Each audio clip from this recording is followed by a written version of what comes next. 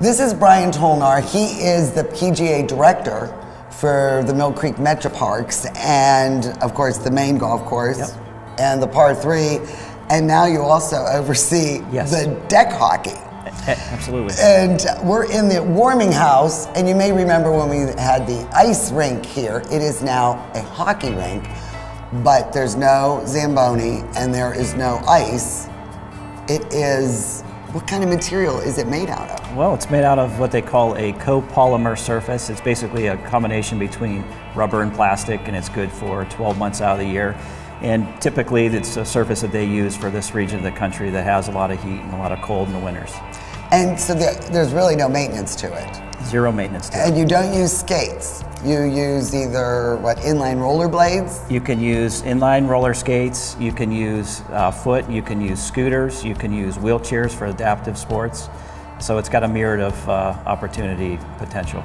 I mean, you were telling me that this is the only one in the state of Ohio. This is How did little old Youngstown, Ohio wind up with this? Well, there's a, there's a number of them in Pennsylvania, all part of the Pittsburgh Penguins Foundation.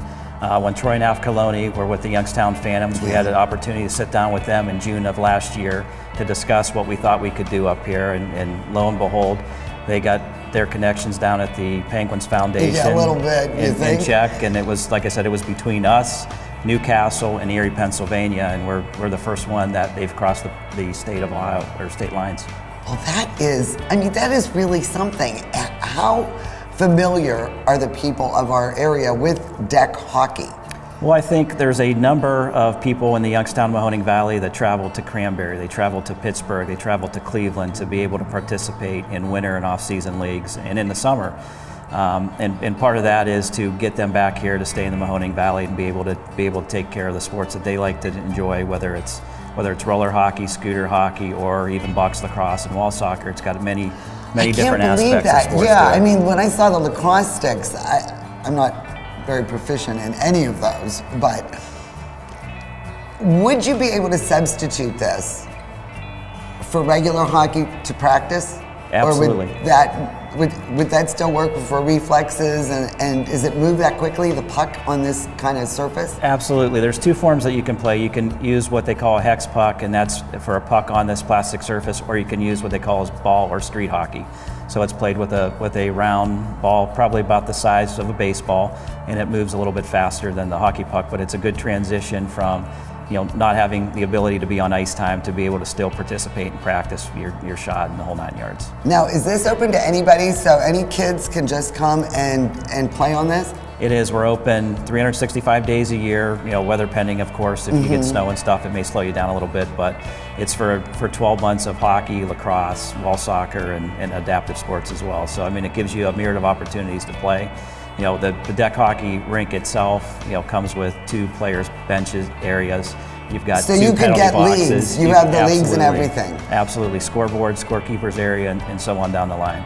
Wow. I mean, th- this is really, I think this is cool. First of all, I didn't know we were the only ones in Ohio, which I really like that we are outstanding in something here. And are you a good player?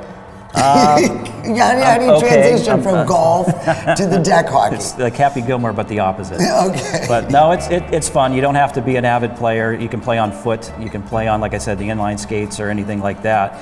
So I mean, you can run around on there and, and, and chase the, the puck and the ball around. I, we bring our little kid up here all the time, and he really Yeah. enjoys himself to, to go out there and run. So you really can't damage the surface. Like maybe all. not steel spikes, or you can't wear your golf shoes, right? Correct. Yeah. And um, but what else could you do on this? Uh, this. Well, you've got rink? box lacrosse, which is another sport that it, you know with the walls and, and the setups with the with the, the sideboards and panels. You can play that as well as wall soccer. So it's basically a, another way, another opportunity.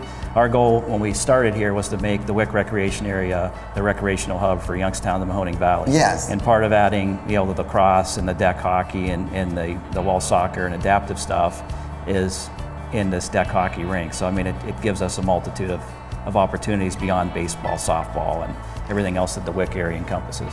And you won't really need the protective gear, do you, when, when you're playing with this? Because You don't. We suggest it. That, Like that for you, your that you can bring a helmet maybe? or anything that you want to use just for protection.